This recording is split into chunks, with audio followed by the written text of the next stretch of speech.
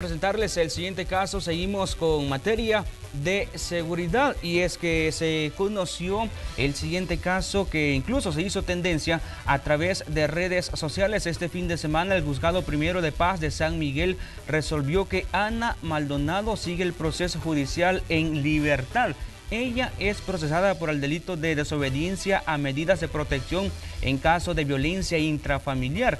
Según el video, aparece en un aparente arranque de celos la procesada eh, sobre un taxi en marcha golpeando el parabrisas.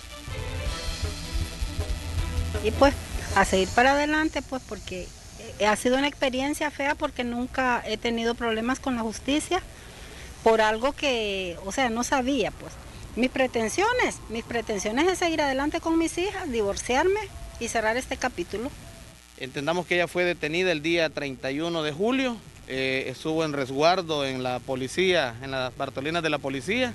Eh, afortunadamente, pues eh, el proceso avanza a una siguiente etapa procesal, que es la, la etapa de instrucción pero ella conserva la libertad y se le decretaron eh, medidas alternas o medidas sustitutivas a la detención.